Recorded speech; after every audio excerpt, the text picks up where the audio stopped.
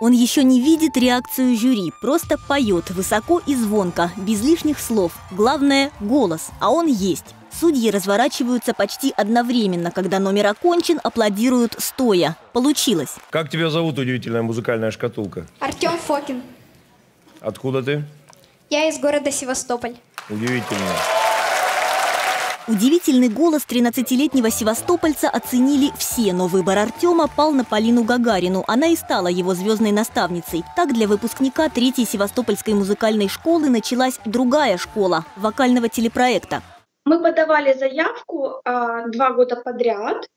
Мы проходили прослушивание, ну как мы, мы готовились к прослушиваниям, мы их э, мы туда приезжали на предкастинг, да, но мы два раза не попали.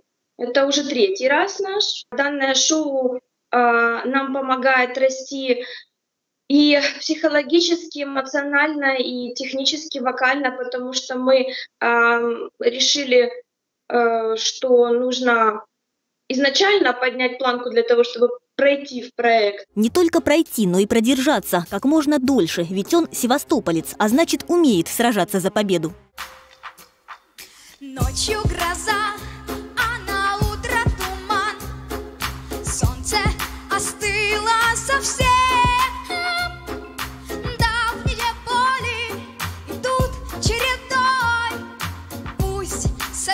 собираются все.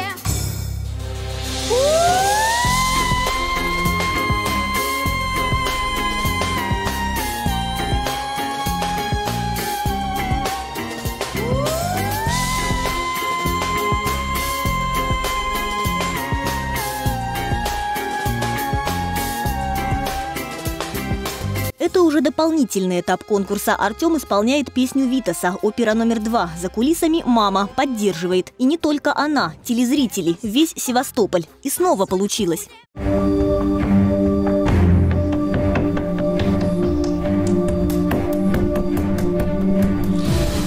Понятно.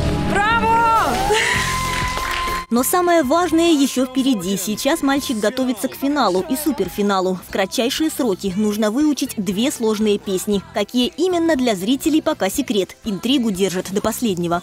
Сперва будет финал, будет зрительское голосование. Вот он споет одну песню, зрители проголосуют. В случае прохождения его в суперфинал, тут же в, этот, в этом же эфире он поет вторую песню уже, как в суперфинале, да, и снова будет опять голосование уже за победителя вообще всего проекта. Полина Гагарина общается с подопечным через соцсети, проходит и репетиции с оркестром. Перед финалом Артем волнуется, но верит в лучшее. Я думаю, что у меня шансы высоки, высоки потому что я исполняю другую музыку.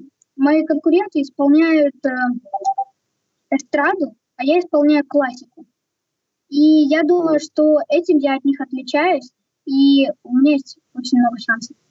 Артем Фокин – студент международной школы вокала. Он не раз побеждал в музыкальных конкурсах, причем не только городских. Увидеть его новое выступление в шоу «Голос дети» можно 24 апреля на Первом канале. И пусть все получится. Анастасия Синица, Новости Севастополя.